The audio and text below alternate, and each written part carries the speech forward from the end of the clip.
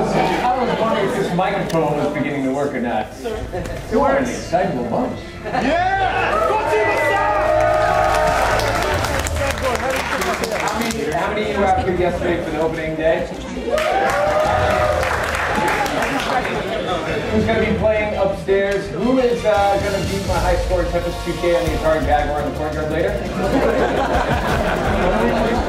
the only and greatest reason to own a Jaguar. Um, so my name is Chris Melasinos. I'm the guest curator for the Art of Video Games exhibition here at the Smithsonian.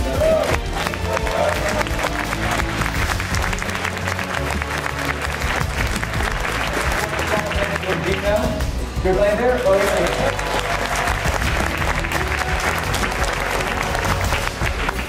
More people to come in before we uh, start the program here. And I just wanted to, you know, say a few things that, um, like with anything else great in life, you don't do anything this large and big by yourself. So you can have an idea, you can have an interest, you can have something that you care about that you want to bring to the world, but you have to find like-minded people, people who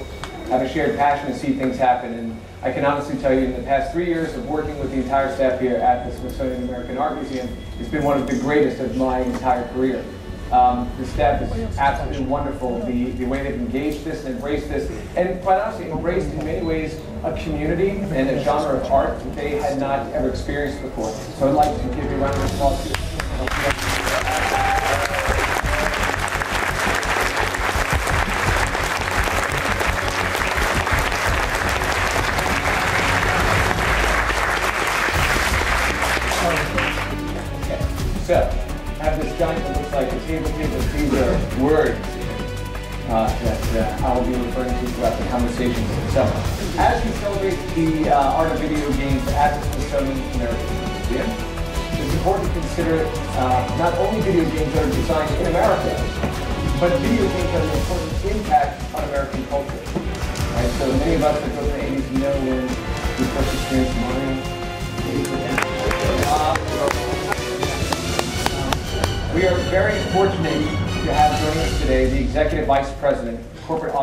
Konami Digital Entertainment Company, and the Director of Kojima Productions, Hideo Kojima. Uh, Kojima-san is one of the most widely respected game designers in the world, having been named as one of Newsweek's top 10 people of 2002, and receiving the Lifetime Achievement Award at both the 2008 MTV Game Awards and the 2009 Game Developers Conference, he is widely recognized as having created the stealth action genre video games with the highly successful Metal Gear game series, which profoundly changed the landscape of storytelling in video games. In addition to the beloved Metal Gear series, Kojima-san is also the creator and director of other highly respected series, including Snatcher, Police Knots,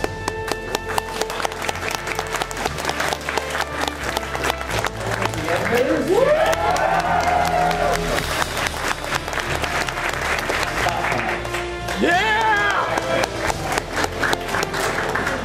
it is a privilege and an honor to have him here with us today.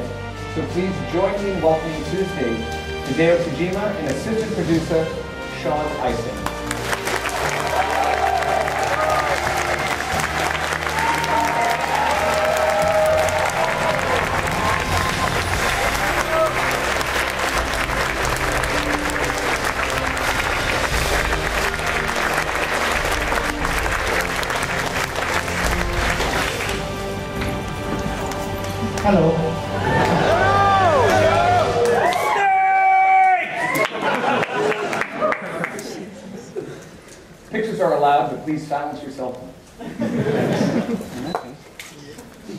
Thank you for joining us today. Um, there are a series of questions that, um, in assembling this exhibition, I was taking into consideration with regard to video games, messages that can be delivered through them, and how they become art. So uh, I want to ask you first, have you had the opportunity to tour the exhibition? はい、あの2日前の、まあ、プレオープンの時に見させていただきまして、えーまあ、ゲームの長い歴史、えーソフトとかハードを非常に分かりやすく展示されてまして、えー、中にはレアなハードがありまして非常に楽しみでした。So yes, during the opening ceremony two days ago, actually we had the pleasure of looking around the exhibition and uh, we saw a lot of cool games. I think it does a really good job of explaining the history behind video games. A lot of interesting games there as well as old hardware, which was really great to see and it brought back a lot of memories. あのまあ、こういう展示会っていうのは、まあ、世界中であるんですけども、やっぱりスミソニアン博物館で今回のゲームが取り上げられたっていうのは非常に光栄ですし、えーまあ、この博物館えー科学とか技術とか産業とかアートいろんな、まあ、自然史も含めていろんな博物館がある中で、えー、かなりそのゲームっていうのは改めて考えると、え、その中にクロスしているというか、まあ、総合芸術に近いのかなということで非常にこう改めてゲームの力強さというかゲームのの中に、まあ、秘めた力というのを感じました。So of course, you know, I've had the honor of having my games uh, displayed in exhibitions around the world. but to have it shown here in a place like the Smithsonian is truly an honor, and I think it's a, a very important step. The Smithsonian is such a respected museum, and it encompasses so many different, you know, uh, fields, including you know art, technology, and all these various museums. So having games be a part of that, recognized as a, a sort of art form, um, to me I think is a very important thing, and I'm very happy to be a part of that. Thank you very much. Thank you. あとあの、えーまあ、子供の頃からですね、あの航空宇宙博物館の方にえー、ずっと来たくてですね今回まだ、えー、これから見ようと思いますけども、 えーまあ、アポロが運んできた月の石とか、えー、チャック・映画が初めて音速を超えた X1 とかですね、まあ、エノラグイの、えー、展示とかあるので、まあ、そこを楽しみにしております。And for a very long time, uh, just the Smithsonian in general, I've been looking forward to looking at the National Air and Space Museum since I was a child. So I'm really looking forward to going there after this is all done and uh, taking a look at you know, some of the moon rocks brought back by Apollo, uh, looking at the uh, Enola Gay, Chuck Yeager's X1, things like that. So yeah, it's a pleasure to be here. Thank you. So we all have experiences of when we first saw a video game that was important. Can you um, tell us a bit about your first experience with video games and what was the first game that you played? えっとですね、あの僕らの時はそのビデオゲームっていうのはなかなかなかったんですけども、 えー、最初の記憶ってそのポンの、え、家庭用家庭用なんで、えー、もしかしたら日本での家庭用なんでポンの、まあ、ちょっとこう本物ではないかもしれませんけど、まあ、それが記憶のどっかにまずあります。So, uh, you know, when I was a child, there really weren't very many video games, but I do have memories of Pong. Maybe it was Pong, but, uh, you know, it's, it's for a home system in Japan, so maybe it wasn't the real Pong. It was just sort of a, a Japanese game that was similar to Pong. あの本格的な、えー、ビデオゲームっていうのは、おそらくその、えー、スペースインベーダーだと思います。であの最初テレビニュースでそれを見て本当にびっくりして。こんなに面白いものが世の中にあるのかというので、えー、近くのスーパー最初ありまして、えー、そこで中学生の頃かな、えー、そこでちょっとやってました。But I think the game that really first pulled me in and I played a lot was probably Space Invaders. And I remember seeing it first on the news, on TV, and being very impressed by it, thinking, wow, you know, this, this kind of thing actually exists. And then it came to a supermarket near my house, and uh, when I was a junior high school student, I went there and played it a lot. であのえーと、それ以前はですね、えーとまあ、デパートの屋上に家族で、えー、小さい時に、えー、買い物に行ってで僕とこの、まあ、兄弟だけ屋上でお金渡されてですね屋上にこうビデオゲームじゃなくてメカトロのゲームがありましてそこでずっと遊んでましたそのベルトコンベヤーの上に車が走っているやつとか影で、えー、戦闘機を落とすやつとかあとは射的ゲームですけどもそういったゲームの影響の方が僕は大きいですね。But uh, you know, if we go back a little bit further, maybe even before video games, you know, I remember as a kid, uh, when my parents would go shopping, there was a place, a department store, that on the top floor had a bunch of mechatronic arcade games, things like uh, race cars that would run on a conveyor belt, or uh, you know these games where you shoot down uh, ships, and it's kind of like a, a shadow play, right? You're shooting things down. Um, and we used to go there a lot. My parents would just give me some money, and me and my, my brother would go there and play games while my parents shopped. So you grew up playing these games. Um, they had an impact on you. At what point did you decide that you wanted to make video games, and why? Specifically, were there any other forms of media that you wanted to develop? And did you ever want to write stories, plays, movies? そうですねえーっとまあ、映画監督というか映画を作りたかった時期がありまして、えー学生時代 どうやったら映画を作れるかということをずっと模索してたんですけどもなかなか今みたいにインターネットがあってデジタルのツールというのがなかったので、えー個人で映画を撮ってそれをどこかに発表するということができませんでしたので、えー非常に悶々とした日々を、えー送っていたのが、えー大学生時代なんですね。So, uh, you know, to be honest, uh, what I really wanted to become was a movie director. Um, but of course, you know, back then it wasn't as easy as taking, filming a movie and editing it digitally like you can do now, or uh, even distributing online via the web. So it wasn't very easy for me to film my own works. So, you know, I remember just kind of stressing over this, this fact, you know, how can I become successful in the movie industry? あのまあ、一人で、まあ、映画を撮れないので、えーまずは小説を書いてですねそれを応募して、えーロッキーでスタローンが映画を撮ったようにですねそういう手法を真似てストーリーを考えて小説書いていったんですけどもそういう時に出会ったのがファミリーコンピューターになります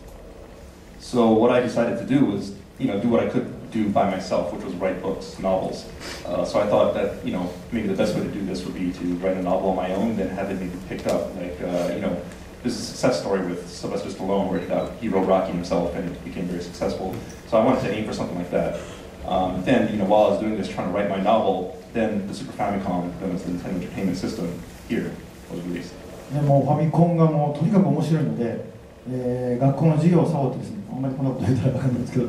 えーとにかくファミコンをやって、えーまあ、やってる中であの映画ではないですけどもなんかこの、えーコンピューターゲームっていうかビデオゲームっていうその、えー今までなかったメディアなんですけどもこれでも自分を表現することが、まあ、できるようになんじゃないかということで非常にこう新しいメディアとしての可能性を感じて、まあ、ゲームの道に入ったということ So when the Super when the Famicom came out, you know, I became addicted to it right away, and uh, you know, I started playing all these games and just kind of became obsessed with it. And uh, it's at that time that I really felt the potential that was hidden in this new medium, and I felt that you know maybe if I can't go to movies, I could look into this new medium and find success there. Can you discuss where you draw your inspiration uh, from when you when you were designing games? Specifically, can you detail for us perhaps some of the influence behind the anti-war and nuclear proliferation themes that are woven throughout the Metal Gear series, and why why was it so important for you to have these messages in your games? えー、とまずインスピレーションですけども、あのまあ、映画を見ていてですね映画の主人公と一緒になって、まあ、ストーリーをこう進めていく中でいろんなシチュエーションがありますけどもそのあるシチュエーションを映画っていうのはこう一方的に見るだけなんですけども自分がリアルに体験したらどうなるかっていうのがまず僕のゲームデザインの基本にあります So you know, in a movie, you're basically watching things on a screen, and uh, you know, it, pre- it presents a story and a world to you, but you're just looking at it as, a, as an observer. So what I thought is, how would it feel if you could actually interact with these elements? And I think you know, providing that experience of actually being there while these events are happening is the basics of good game design. 例えばあの大脱走っていう映画がありますけども、えーマックイーンがこう敵から逃げるときに、えー隠れていて見つかりそうな緊張感っていうその映画は、えーそのハラハラドキドキするんですけども実際にその場に自分がいた時の方がずっとハラハラドキドキすると思いますんでその緊張感を、えーインタラクティブなメディアのゲームでやってみたらどうなるかっていうのがまず根底にあってそこからゲームデザインを広げていくっていうのが僕の今あの、まあ、作り方というかゲームデザインインスピレーションの、えー発展の仕方ですね。So, uh, for example, in the movie The Great Escape, um, you know, there's that scene where Queen's trying to escape from the Nazi camp, and, and it's, you know, you're wondering if he's going to get spotted, and there's a lot of tension there. And you know, just watching it on screen, watching the action unfold, you feel a lot of tension just as an observer. So I wondered, well, what would it be like if you were actually there? You know, what if I could simulate this somehow in a game and have it be interactive? And it's that kind of uh, goal. You know, that's that's where I start my game designs from, is looking at an experience, trying to recreate that experience, and uh, create my game designs from there. あのまあ、例えばその、えー吸血鬼のドラキュラ映画を見ていて、えー太陽が昇るまでそのの太陽をこう、えー昇るまでになんとかこうあの戦いを繰り広げるっていうところで、えー太陽を見た時に本当にこう嬉しくなったり心強い気持ちがあると思うんですけどそれをゲームにしたらどうなるかっていうので作ったのが僕体になりますので、えー物語とか世界観というよりも映画のようなシチュエーションをいかにゲームで表現するかっていうのが僕、特徴です。 So another example would be uh, if you're watching a, a vampire movie, you know, and the main characters are fighting, and they have to hold off the vampires until dawn comes, right? There's that tension there, and you're wondering, wow, are they going to make it? You know, you're waiting for the sun to rise. And when the, fine sun, when, when the sun finally does rise, you feel very happy and relieved when that happens. And it was that type of experience that I wanted to simulate when I created Boktide. And so uh, that's basically how I approach my games, is not so much to look at the story or world that's presented in a movie, but to recreate those situations and those experiences. であのまあ、反省反覚のテーマなんですけども、えー僕の両親がですね、えー1930年生まれで、えーまあ、日本で空襲とかになってますし、えーまあ、戦争を体験しているので、えー子供の頃からまあそういう、えー反戦の思想というかそういうのはずっとこう教育されてましたんで、えー僕が戦争コンパクトゲームを作るときに、まあ、その、まあ、親からもらったものを、まあ、ゲームで、えーある程度表現したいということで、えーその反戦反覚というのを、えーメタルギアでは、えー言っています And as for the anti-nuclear messages that are found in my games, um, this actually goes back to my parents because my, par- my parents were born in the 1930s, and you know they experienced the air raids on Tokyo. So, you know, I got a lot of influence from them, and you know, I think inherited a lot of that anti-war sentiment from them. And uh, I, so when I went into the game industry and I started making my own games, I really wanted to carry over this message of you know anti-war, anti-nuclear proliferation into my games. In your experience, what are some of the qualities that you believe are required to be a good game designer? えーとですね、まず、えー、物事にすごく興味がありどんな物事でも興味があって首を突っ込む人 First of all, I think you have to have a lot of different interests. Be interested in a lot of many things and be willing to jump in and try new things. あの例えば道を歩いててですね道だ道の間に道の真ん中に人だかりができている時に、えーそこを絶対見に行く人じゃないとゲームデザインはまず無理です So, say if you're walking along the street and you see a bunch of people in the middle of the street,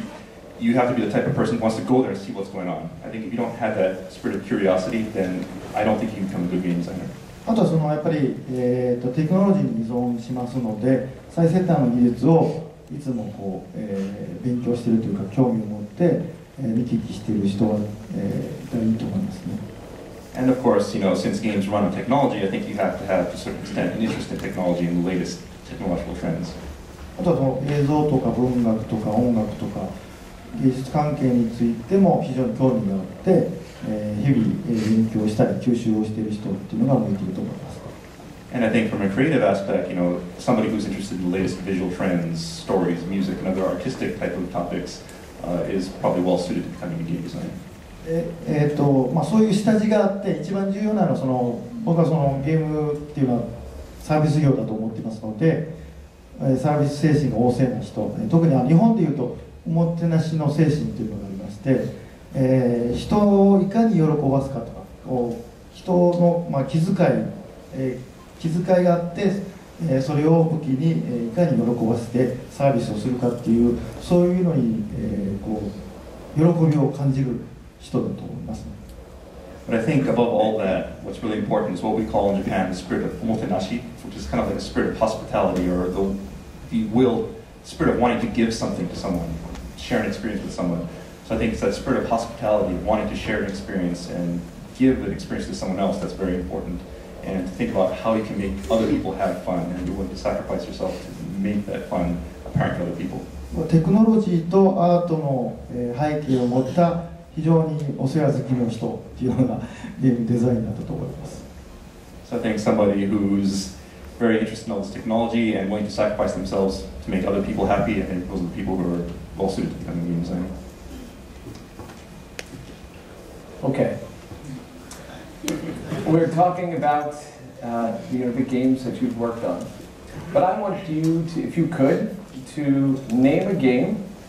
uh, other than one you developed that has had a profound impact on you, and why. あのまず 僕がこうゲームに興味を持ったのはスーパーマリオブラザーズですまあ、これはもうこれがないと今僕ここにいませんので Well, first of all, I just have to say that probably the most influential game on me was Super Mario Brothers. I think if that game did not exist, I probably would not be sitting here today. であの、まあ、これはいつも言ってるんですけどもあのその後この業界に入って非常にこうびっくりしたゲームっていうのがあります But there is also a game that, after I entered the gaming industry, something that stood out to me and really impressed me. あのそれアウターワールドっていうその現代アナザーワールドっていうえポリゴンのアドベンチャーがあったんですけどもそれが非常に、えーびっくりしました And that game would be a game called Another World, which I believe is called Out of This World here in North America. And it was a polygon-based game released way back when, and uh, that, that really impressed me a lot. 知ってる人いますか Is there anyone in the audience who's played it? 非常にですね、えー思想がその作家性というか作り手の作家性が出てまして、えーアートに関してもそこの物語にしてもメッセージ性にしてもそのゲームをクリアするそのギミックにしても、えーインタラクティブなんですけども作った人の思想感というのが非常に分かるよ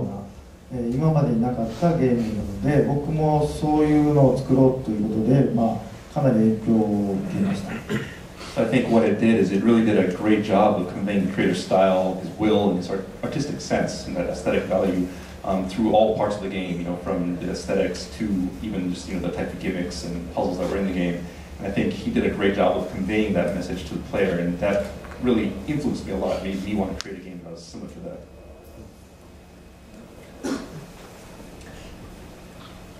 Some artists struggle having to balance the commercial interest with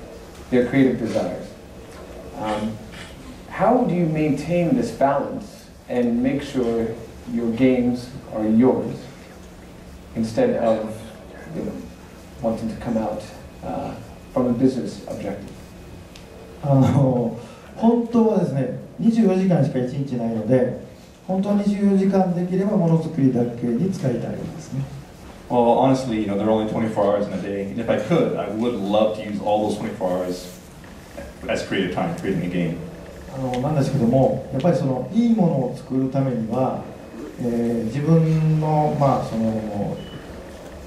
思い通りになるような現場とか環境とか、えー組織を作らないとダメなのでいいものを作るためにプロデューサーをすると、えーそれがまあ一番近道だと思います But I think in order to create something great, something truly great, you have to create the environment that allows you to do to create freely. And uh, to, in order to accomplish that, I decided that I had to become a producer, and that becoming a producer would allow me to create the games that I want to create. MGS1 以前は僕はプロデューサーでなかったので発売日がいつなのかとか、えースタッフを雇う権利もなくてですね、えーバジェットの管理もできてなかったのでやっぱりその、まあ、熱意だけでは今は作れないんですね So, you know, prior to MGS1, you know, I wasn't a producer, so I was very bound by, you know, dates and budgets. You know, I had no control over hiring people, I couldn't control the budget. Uh, a lot of times I didn't really know where the, the deadlines came from, so, you know, I, I really didn't have that power to do what I wanted to do. なのであの皆さんも多分、まあ、これからゲームかなんか分かりませんけどものづくりしたい人たくさんいると思うんですけども、えー自分をうまく引き出してくれるプロデューサーがいる方はいいんですけどもいない方は自分で自分をプロデュースすることをお勧めします So I think there may be a lot of people here in the audience who maybe want to produce a creative type of uh, you know occupation, whether it's games or something else. And I think if you have a great supportive producer there who can encourage you and bring that creative creativity out of you, that's great. But if there isn't a person like that, then I think really it's up to you to really take the leadership, go out there and become a producer yourself. であのそれでプロデュースをし続けるためにはやっぱりその複数ラインを持ったりとか結局はビジネスをしないといけないので、えーまあ、いやいやとは言いませんけどいいものを作るためにプロデューサーをしながらしかもビジネスもしていると、えー結果的にはそのバランスというよりもものづくりができるっていうかものづくりができることが一番最優先なので、えものづくりをするためにプロデュースをしプロデュースをするためにビジネスをしているというこの優先順位は僕の中で変えたくないというかそれがあるからゲームを作れるというか、えー精神的なバランスを保てるという So, but then of course, you know, in order to become a producer and maintain your position as a producer, you have to know business. You have to look at the business aspects, keep multiple lines of things running at once, You have to be very organized, you know, keep track of the budgets and whatnot. So I think it's very important to have that skill. But you know, what I want to emphasize though is that that role as a producer, you know, that's only to facilitate creativity. So creativity and creation is always priority number one. And I become a producer to support that creative endeavor. In order to, to support my role as producer, I have to study business. But priority is always on creation. In 2006, um, you likened your role as a game designer to someone who runs a museum. Your game, acting as that museum, contains the art that you create, lighting, the placement of objects, um, but the video game itself is not art, as art should radiate the designer. Um, I believe that video games are an art form due to the three voices that are present um, when games become art through the author, the game mechanics, and the player themselves. Do you still share the same position that you did in 2006? 僕2006年にそんなこと言ったこと覚えてないんですけど You know, honestly, I don't remember uh, exactly what I said in 2006.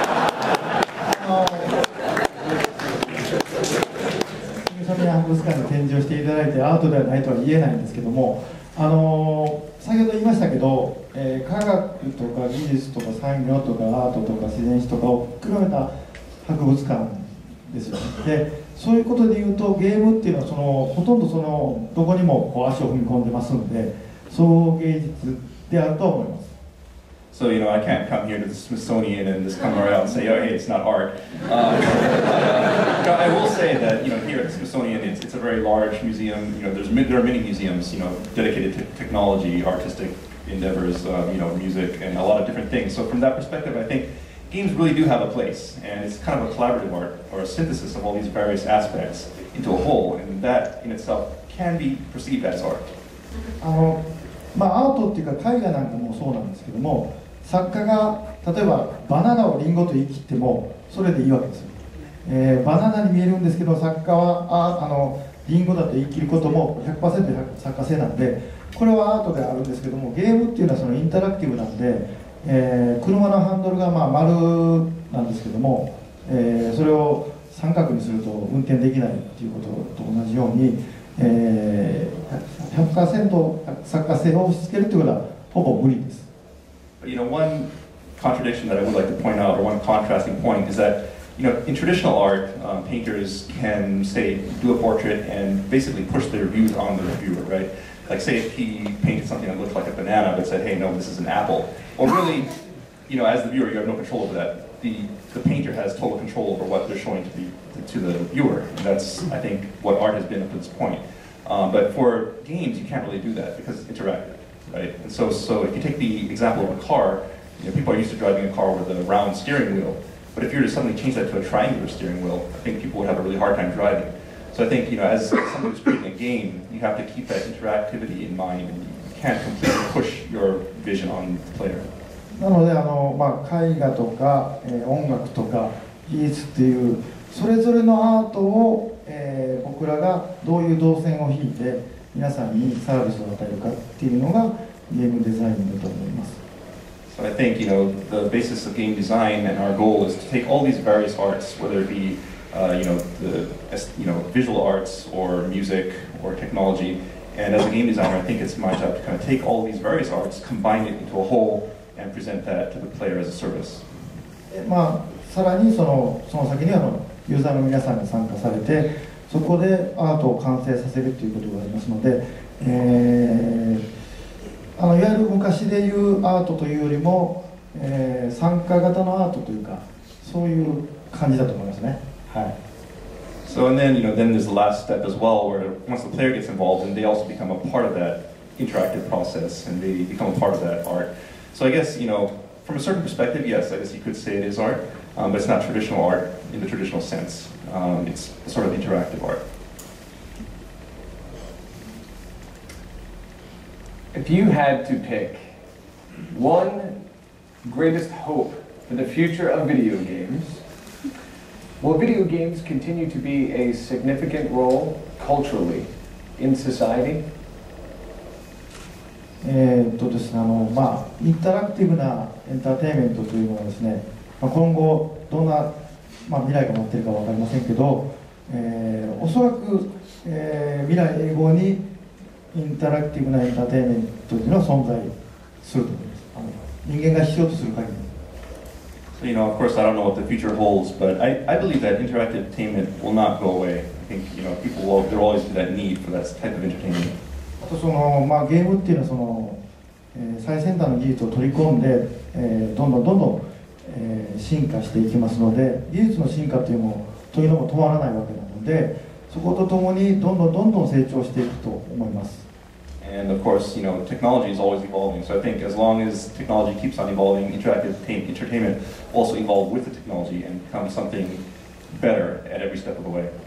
あとそのテクノロジーがこう拡大する中でいろんな分野の要素がエンエンターテインメントにどんどん入ってくると思いますので心理学とか、えーそういったものもどんどん入ってくると思うので、えーそのゲームの領域っていうのもすごく広がって横軸方向に広がっていくと思いますね。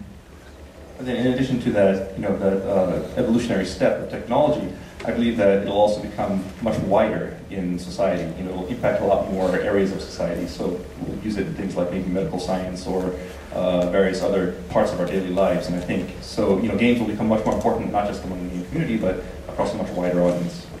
そのゲームで試されたいろんな技術とかテクノロジーとか、えーその分野を取り込んだエンターテインメントをがまあ実験台となってその結果教育とか医療とか、えーサービス業にどんどんどんどん広がっていくというふうに思ってますので、えー非常に未来は明るいというか、えー思いますね。And so I guess you could say that you know games could kind of serve as a testing ground for a lot of technologies that could later on become very useful in medical fields of medical science or education or other critical social services. So I think uh, really from that perspective, games are a very important part of our future, and I think the future is very bright. あとあのキネクトであのこうモーションセンサーとか多分皆さん自宅にカメラがあると思うんですけどもあれはまあエンターテインメントで導入されましたけど、 まあ、5年10年すると普通に日常でいろんなところで使われ出すと思いますのでそういう意味で、まあ、ゲームが世の中を引っ張っていくと最先端の技術を皆さんに紹介するっていう役目もあると思います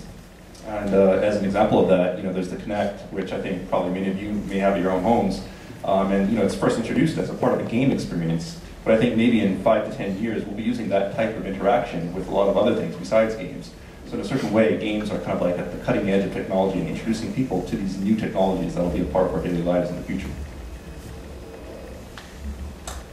Those are all of my questions. So I thank you. So before we um, uh, before we came here, we opened up to the Metal Gear community, to fans of Kojima-san, the opportunity to submit questions. Uh, so we have selected some questions that I will be reading here, and uh, Kojima-san will be answering for us. So the first question comes from Joseph Lynch, and he says, a lot of your games are influenced by your love of films, such as Blade Runner, Akira, The Thing, Terminator, um, Full Metal Jacket, The Great Escape, there's a theme, um, among several others. Uh, generations of children uh, grow, have grown up playing your games, and they enjoy your stories. How does it make you feel knowing that your games are now inspiring, uh, you know, future filmmakers and game designers? えーと僕はその、まあ、特にゲ、えーと映画とか小説とかを、インスパイアされ受けながら育ってきたんですけどもそういう映画とか漫画とか小説で吸収した僕が出力したものがゲームなんですけどもそのゲームを今の、皆さんが、えー吸収していただいてまたそれを違う、えー別のエンターテインメントのメディアで出力されるっていう非常にこう、えー光栄ですしなんか運命的なものを感じます So, you know, when I was young, growing up, you know, I was influenced obviously by a lot of movies, uh, novels, comic books, and then I kind of took all of this input, processed, processed it within myself, and the result of that was a game which I output. So to hear now that the games that I've created are influencing other creators um, in other fields, uh, I think is is very exciting and, and it's an honor, and it, in a way, I, I think it's kind of come full circle, and I feel like to a certain extent, it's kind of like uh, I don't know if you can say destiny is a little bit too much, but you know, it feels like something very special to me. あのまあ、僕26年前にゲームのこの業界に入ったんですけども、えーその頃はですね、えーゲームは喋らず、えービープ音で、えー16色ぐらい So, you know, I entered this industry about 26 years ago now. And when I first entered, you know, of course, uh, games were very simple. It was like 16 colors and sounds, just these simple beeps. あの、まあ、映画が撮りたかったんですけど、まあ、映画を諦めてゲーム業界に入ったんですけども、えーなのでその、まあ、自分の中ではいつかは映画を超えるような表現力をゲームが身につけるのではないかとはずっと願ってましたけどもこんなに早く来るとはあの思ってもいませんでした But, you know, I quit my, my goal of becoming a movie director and entered the game industry based on this very, very simplistic games at the time. And, you know, I've always been hoping, looking forward to the day when games can mature and become this expressive art form, this expressive medium that can actually compete with movies on that level. And uh, to be quite honest, I never expected to come to this point so quickly. Um, but, you know, I'm very happy that it finally has come to this day and because it's something that, you know, I've been looking forward to and it's the reason why I entered the industry in the first place. This next question is from Michael O'Hara. So all of your games are a cinematic experience. Would you ever consider directing, writing an actual movie of your own? Or do you feel that to achieve a truly realized story such as Metal Gear Solid games, it is best done through video games? あのまあ映画が好きなので、えー映画を撮りたいと思うんですけどねあのまあ自分の中でこう 合格点が出せるようなゲームが作れたら映画も撮ってみたいと思います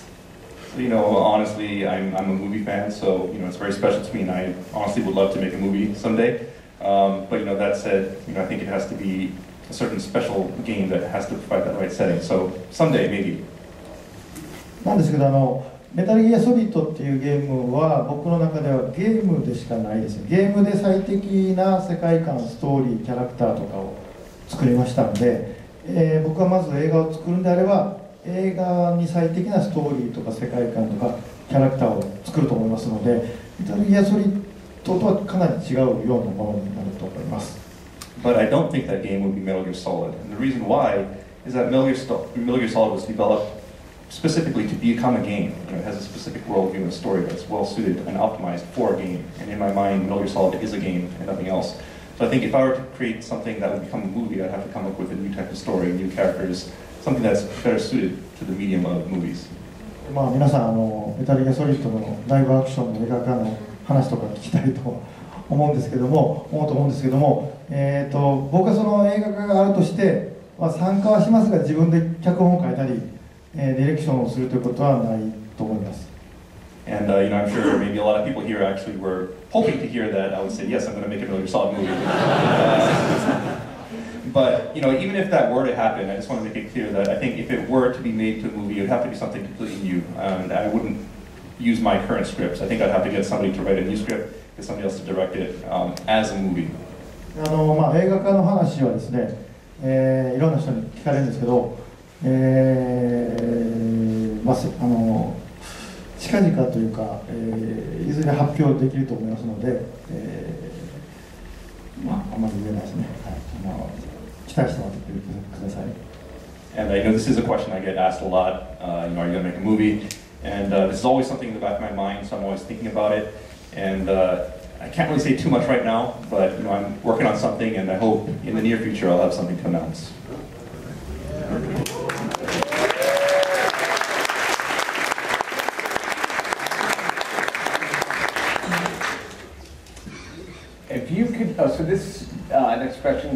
Burke Eisel. If you could say that you identify most with any of the characters in the Metal Gear Solid series, which character would it be and why? ですね And Snake is sitting right here. もう毎日違うことを言ってます。昨日はオタコンと言いました。昨日のインタビューでは。 you know, honestly, I uh, when I've asked, asked, this question, I think I answer it differently every time. Uh, I, I, got asked this yesterday, and I think I answered Otacon.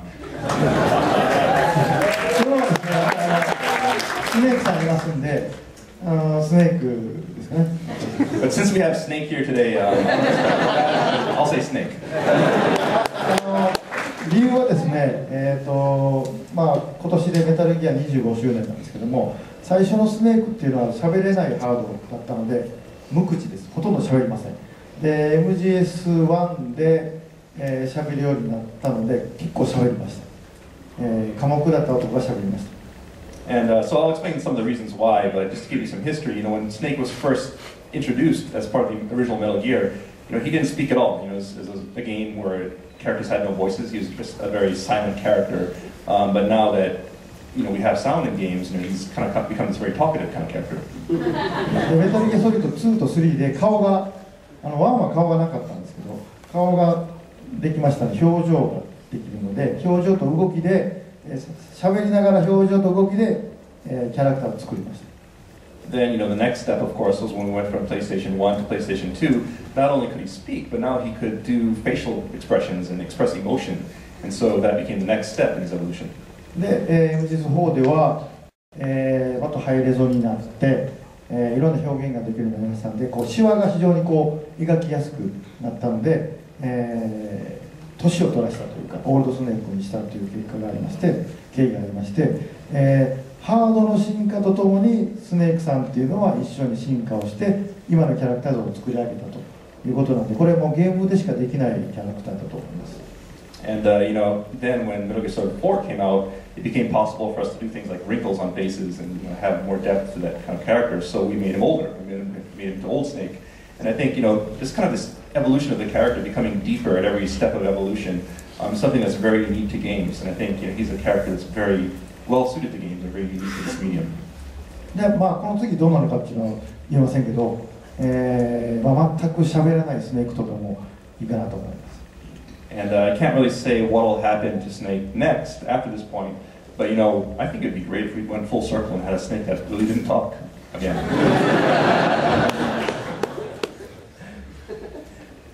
All right, so this, uh, this next question comes from Stuart Price.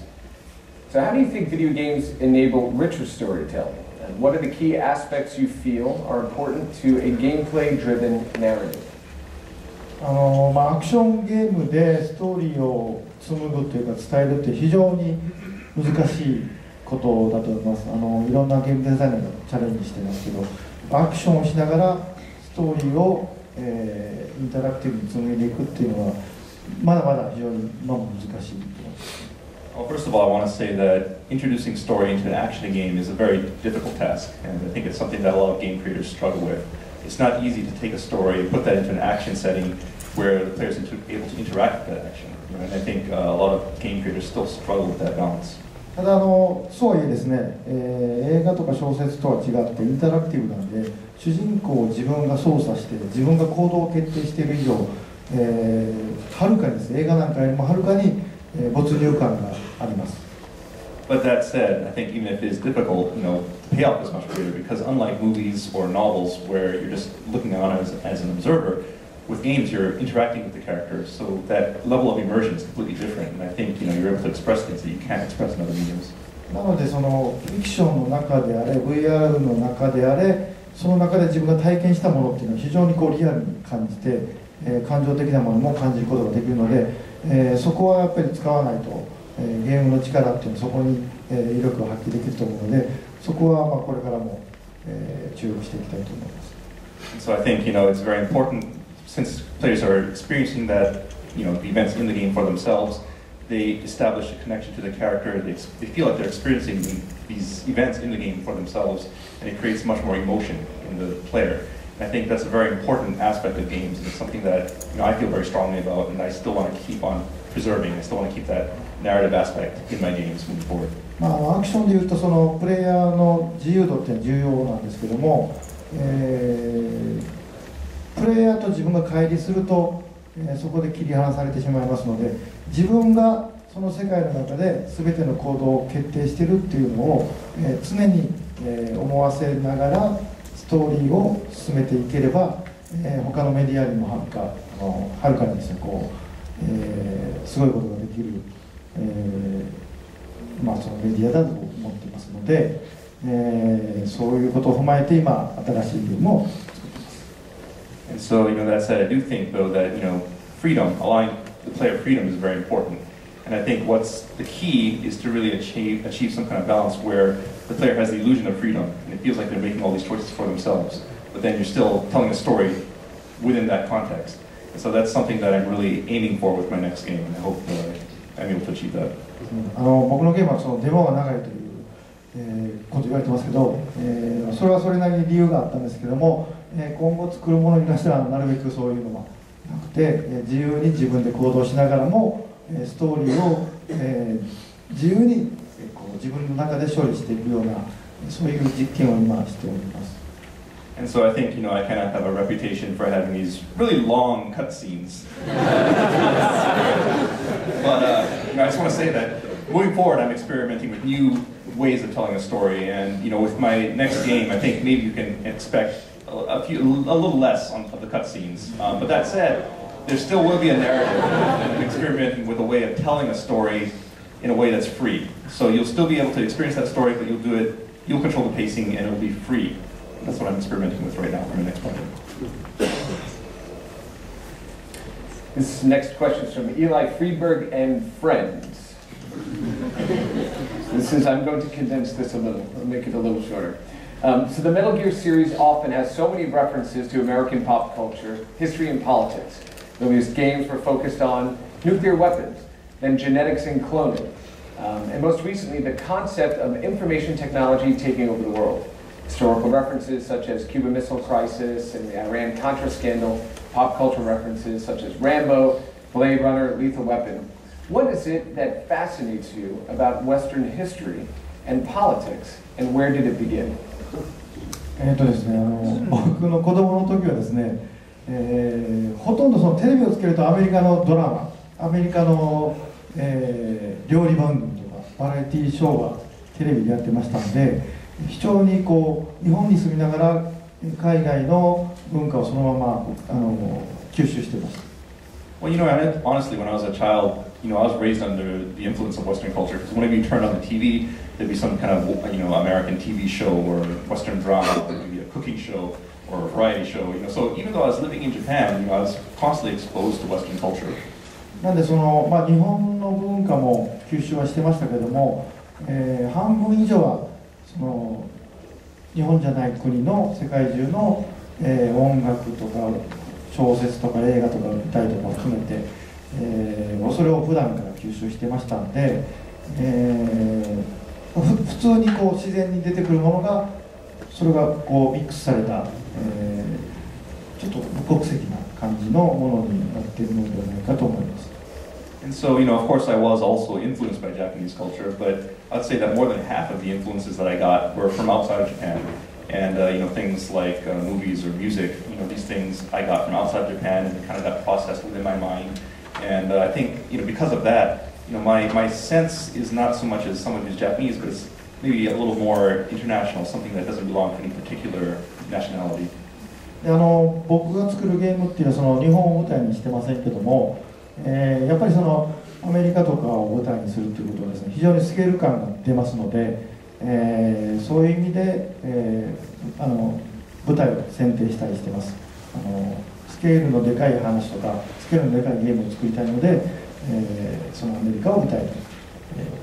ー、書くとかを、えーテーマにしてます And as far as why I set my games in America or other countries, you know, really the reason for that is I want to tell a grand story, something really big. And I think if I set it in a small country like Japan, that'd be hard to do. So because I want to tell this really epic story, you know, I didn't want to limit myself to a certain setting. So that's why I, I looked abroad and looked at things like America, so I could tell this really grand, epic story.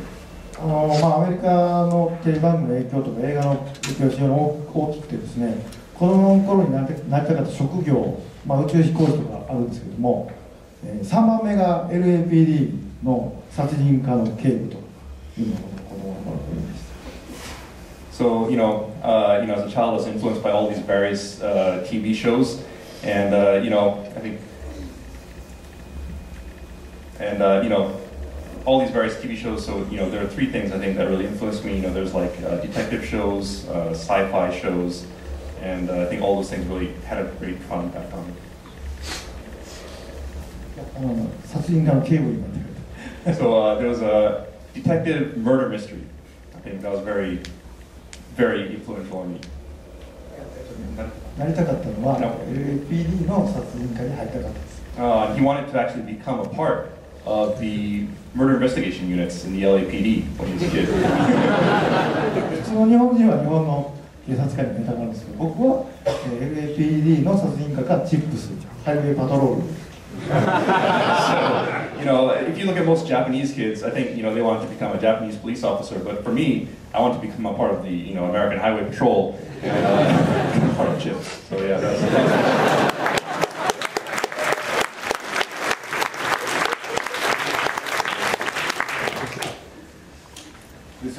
question is from Nin Cho,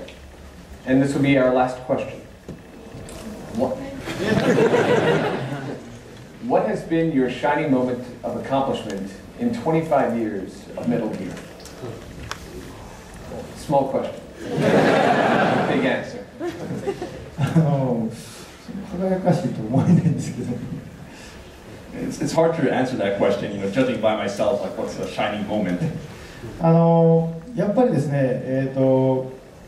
プレイステーションのメタルギアソリッド1っていうのが90 1998年に出たんですけどそれ以前というのは日本の,、まあそのパソコン系のプラットフォームを作ってましたんで非常にこう日陰生活といいますか日が当たらない感じでした。あの一部のマニアには人気はありましたけども、えー海外には知られてなかった。So, you know, in the early days, you know, I did have some very hardcore fans, but Metal Gear kind of existed in the shadows. And I was a game creator who worked mostly on, you know, these lesser known hardware platforms, you know, personal computers. So it wasn't really a huge international hit. あのまあ、メタルギアソリッド1で世界中にアメリカとヨーロッパとアジアの方に発売されまして非常にこうヒットした結果ですねあの世界中に、えー僕の名前が知られるようになりましてえー そこからは大きく変わりましたあの、えー紀元前紀元後みたいな感じで、えーそれ以前とはもう全然生活というかその周りの僕を見る感じが変わりました And so, you know, however, with the debut of Metal Gear Solid 1, I think that was really the point where everything changed. And, uh, you know, it became an international success. My name became known in North America, Europe, Asia, all over the world. And I think it really, uh, it's not saying, I, th- I think it's really the start of a new era for me in my life. Um, I, can, I can say it's like, you know, looking at, you know, BC versus 80 in my life. There's that much of a transition for me. あのまあ、ジェームス・キャメロンが「ターミネーター」公開して次の日にもう生活変わったみたいな、えーインディ日本のインディーズの監督だった僕が突然ハリウッド映画デビューしたみたいなそんな感じでしたあの頃は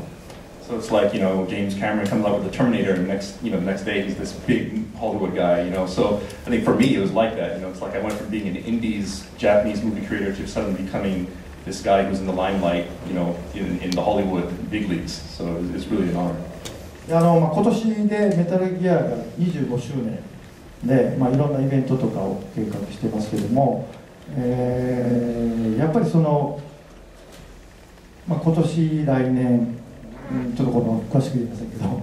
えー25周年があって今自分が作っているもので一番輝きたいと、えー思ってます。あの来年50歳なので40代の間にえー一番自分の中でも満足いくようなもうその光を放つようなものを作りたいなと思っていますし今日、まあ、今年の1年はすごくあのいい1年にしたいと思います。And so, you know, this year marks the 25th anniversary of Metal Gear, and I think, you know, it's a very important time, and I want to really make this year, this 25th anniversary, this 25th year, one of the best years for me. And I think, you know, this year, next year, I can't really say too much, but I'm working on something that I think will become the shining moment, the shining point in my career. You know, and uh, I'm going to be 50 next year, so I think while I'm still in my 40s, I want to do something. I want to make something that will be the best moment in my life. こんだけ言いながらも次回作のことはちょっと今日言いませんけど、えー想像していただけるとなんとなく分かるかなと思います、はい And uh, unfortunately, I can't give more detail than that regarding my next project, but I hope you all kind of use your imagination and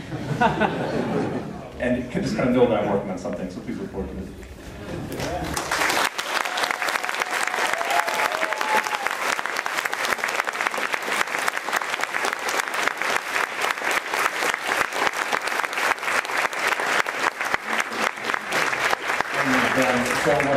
Say that it has been an honor to have you here,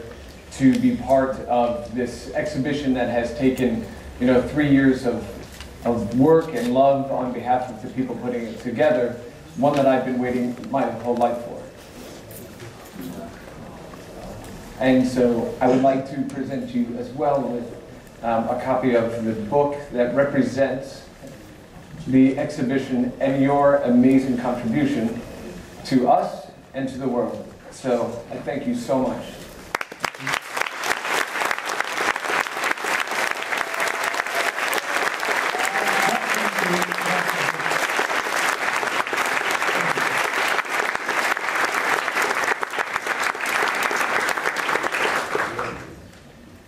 Metal Gear's in there. Page 140.